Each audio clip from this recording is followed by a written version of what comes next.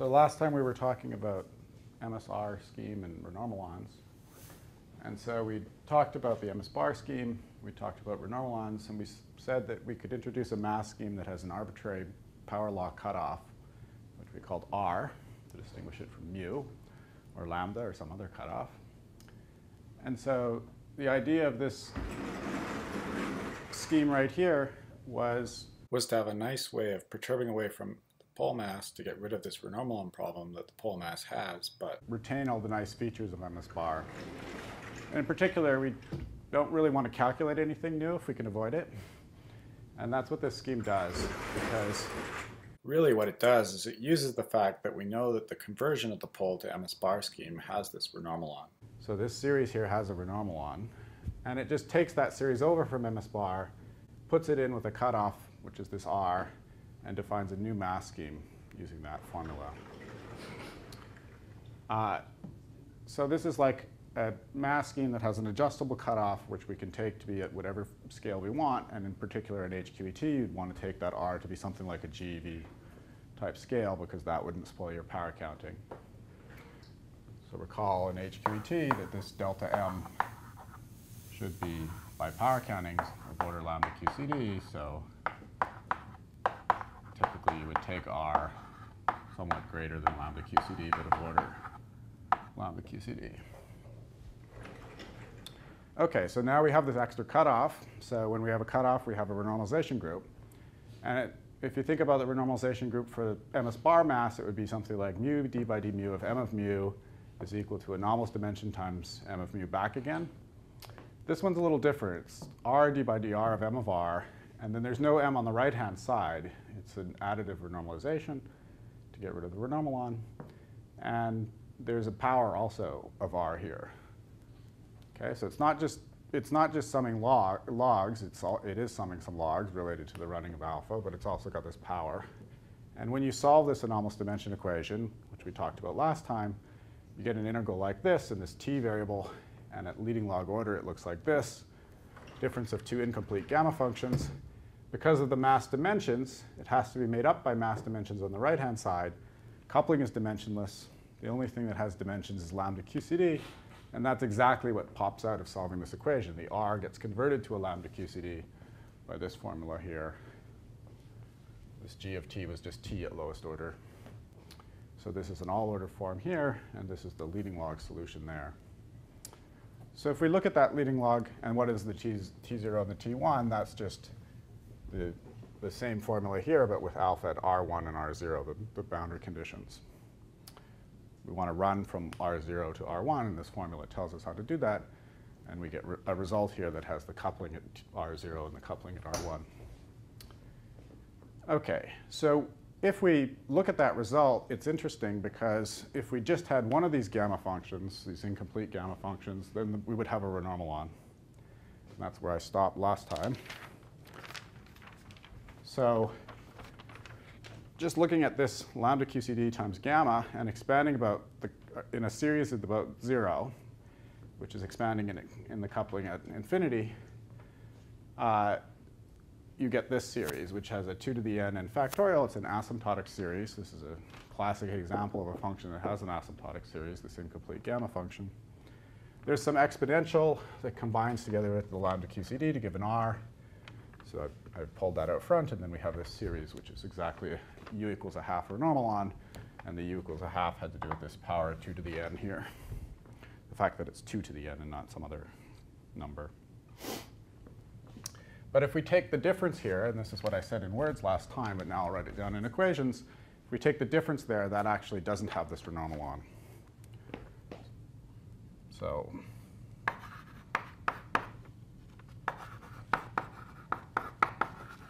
this is the difference of two series each of which is asymptotic.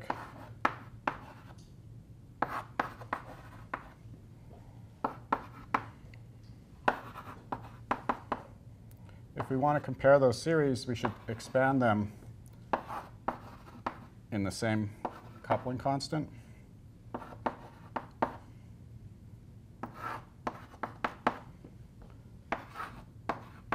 So let me do that.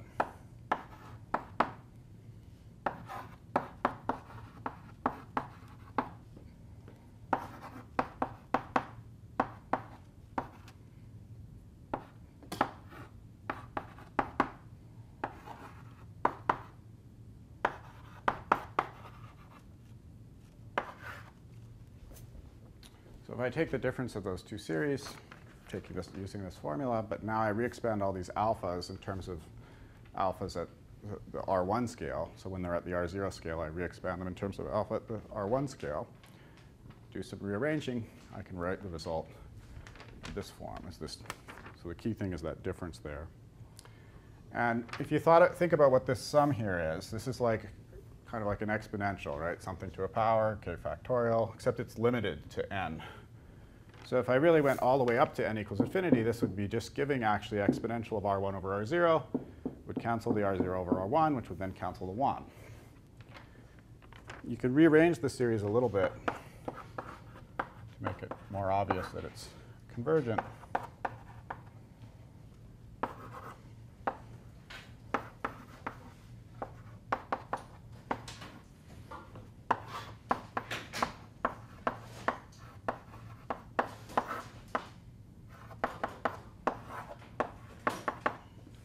Because there is this n factorial here, you might worry, well, this thing here has to fall fast enough to get rid of that n factorial. So write this thing out, this 1, as an infinite series of terms from 0 to infinity of the same form as this. And then what you're left with is the following thing. All the terms from 0 to n cancel, and then you're just left with the terms from n plus 1 to infinity.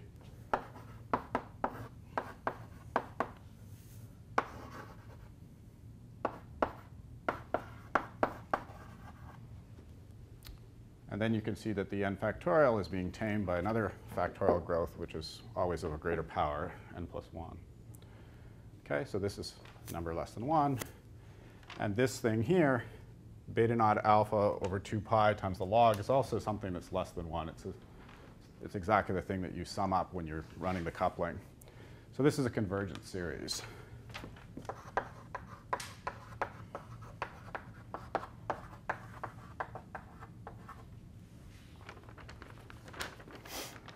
and it's basically the physics of it is we had this mass that didn't have a renormal but it had an arbitrary scale. And what the renormalization group allows us to do is move to another scale. When we move to another scale, it better be that we don't reintroduce the renormalon. And the fact that I can write this as a convergent series shows very explicitly that I'm not having that problem in the difference between these two.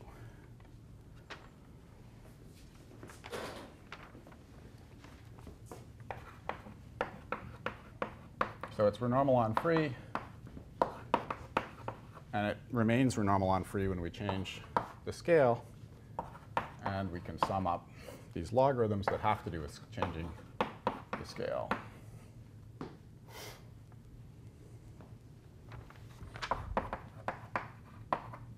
So if you were, why would you care about that? Well, imagine that you extract this ma mass from some B physics. So you take an R that's of order of GeV, and then you say, well, that's a very precise number, but how do I use it for, say, LHC phenomenology? Well, if I want to connect it to LHC phenomenology, I probably want to convert to the MS bar scheme. Because LHC is high energy, maybe I'm doing Higgs to BB bar, BB bar very energetic. So we want to use the MS bar scheme. But I've got this mass at a very low scale. What you would want to do is you'd want to use the renormalization group, run it up to the mass scale MB, match, switch schemes from this scheme where you extracted the mass to ms bar, you'd get a correspondingly precise value of ms bar because the series between this mass and the ms bar mass is, again, a renormal free series. And then you could take that mass at the MB scale, run it up to, say, the Higgs scale, and use it for phenomenology. So you always want to be able to go back and forth between schemes. And if different schemes have different scales associated to them, then you need the renormalization group to, in order to put them at the same scale when or you want to do the conversion. Okay, so that's why being able to sum up these logarithms without reintroducing any renormal problems is, is important. And in general, if you were to try to do this with MS bar, um, it wouldn't work. Uh, you don't really have a, a way of treating the renormalon in, MS, in the MS bar scheme when you're talking about physics below the mass of the particle. Okay, so we can generalize this little discussion here, which was a fixed order leading log discussion, And I can write down for you just how, what would happen if I were to formally integrate this integral here without making any expansion in alpha s. Okay? So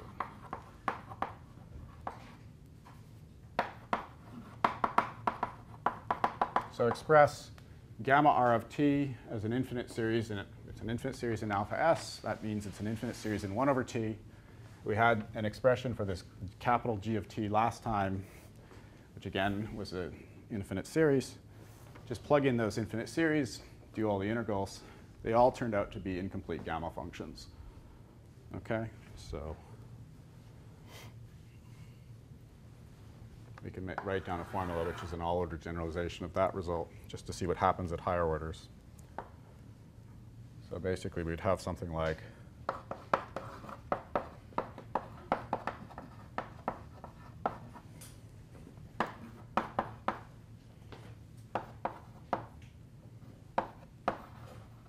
if I look, back at what g of t was, we'd have something like this, and then all the rest of the terms we can expand out in a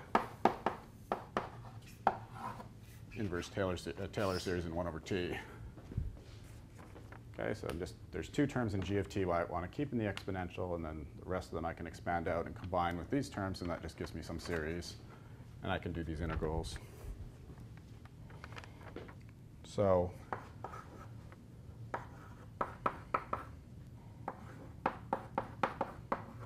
writing the integrand,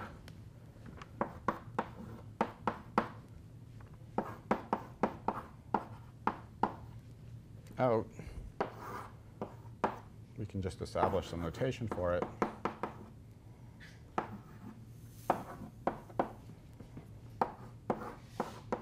For that infinite series of 1 over t's, and we'll just call the coefficients sj.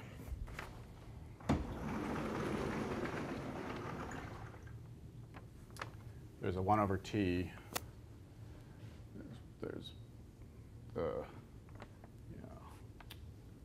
So this gamma of r starts as a 1 over t.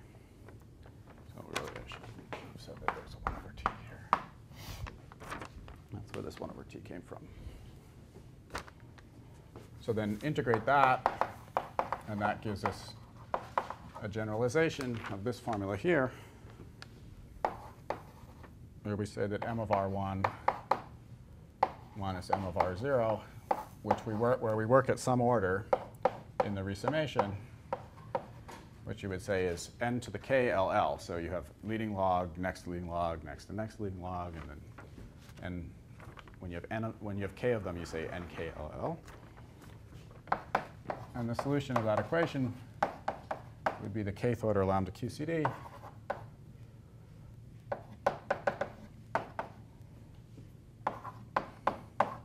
and then this series.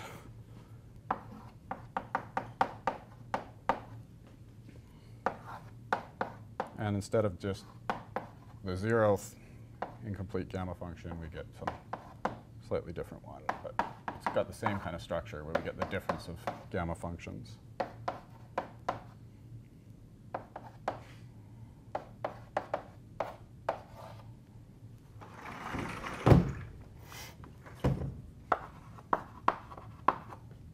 And these s's are just whatever you get from the anomalous dimension. So in kind of a simple notation.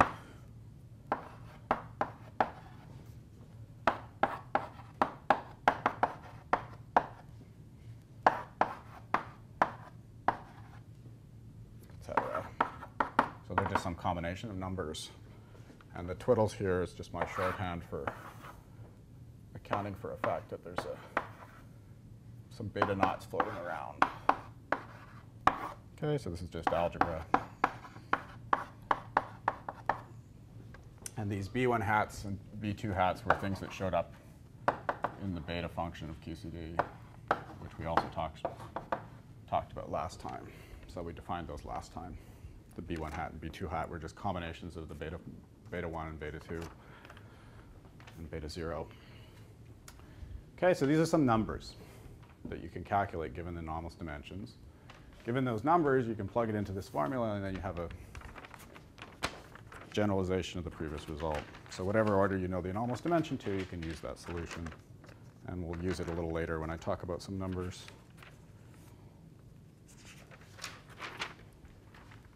All right, so any questions so far?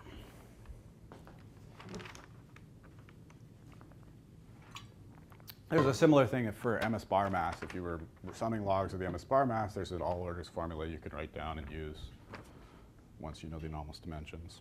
You could find it in the particle data book, I think. All right, so just coming back to this comment about the fact that the anomalous dimension is renormalon free. So the fact, the fact that the solution here was renormalon free, that the difference here was renormalon free, was because there was no renormalon on the right-hand side here, and that the anomalous dimension was renormalon free. And it was constructed from something that had a renormalon, which is this delta m. But it was a derivative of that delta m. And so the derivative kills the renormalon. So this thing is free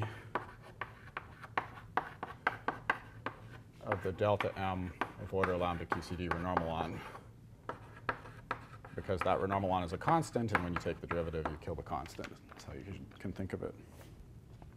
If you start writing out the gamma functions, then you see that it looks like you're finding the renormalon, but then there's some differences that show up and, and cancel it off. So the way that that works it's kind of like this, where you see, sort of think that you have the renormalon, but then you realize there's another term and it cancels it off.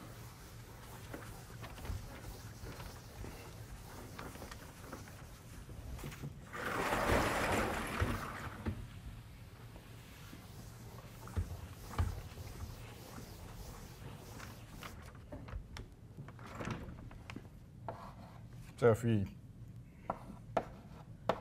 if we look back at our formula for delta m, this had an infinite series of a's. This was like a sum over some an's and some alpha to the n, some other factors. And these gammas are just related to the a's. But they're not just related to the a's, they're also factors of the beta function that come in. So just to give you an idea,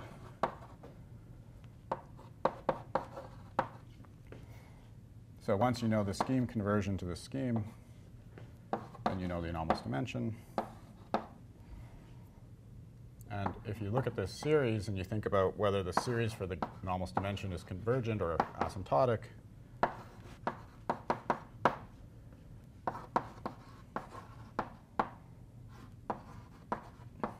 you can sort of identify the pattern of how these coefficients look. And basically, if you, for example, look at the bubble sum, this an plus 1 would be something that has an n factorial 2 beta naught to the n plus 1, oh, sorry, to the n growth. And then this thing here is n minus 1 factorial 2 beta naught to the n minus 1. And then there's this extra 2n beta naught that multiplies it, and you can see that there, there's an exact cancellation. So that's how the bubble sum, you know, one way of probing the renormalon is just to look at the bubble sum. And the bubble sum gave us a particular value of these a's. And you can see that the bubble sum renormalon is canceling out between the terms here.